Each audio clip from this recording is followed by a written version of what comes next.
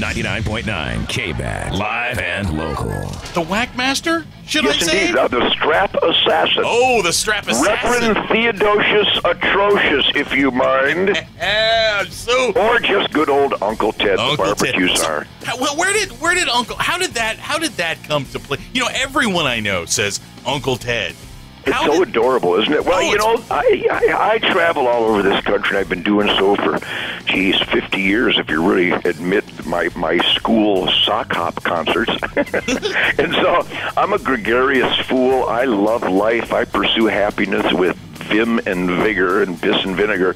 Uh, I thank God every day for my health and for being an American and to be able to pursue my happiness uninhibited and having the freedoms that are unique to this American dream, this experiment in self government.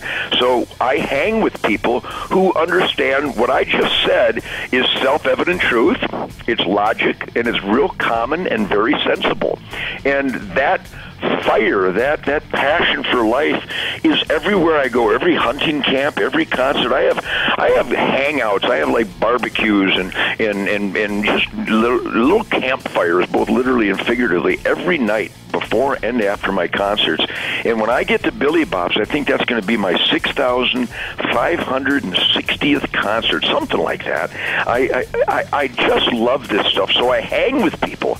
I hang with great Americans, cops and military heroes, and people who give to charities and, and youth organizations and military organizations, and just working hard, playing hard Americans who dedicate themselves to being the asset column. And so that friendliness, whether I'm walking the streets to get a mocha or to stop at a local barbecue joint or go to a hardware store or a gun store and fondle hardware, um, I hang out with people. And about, I don't know, probably 30 some years ago, because I'm such an adorable old guy, these, these young people started calling me Uncle Ted at some kind of hunting event.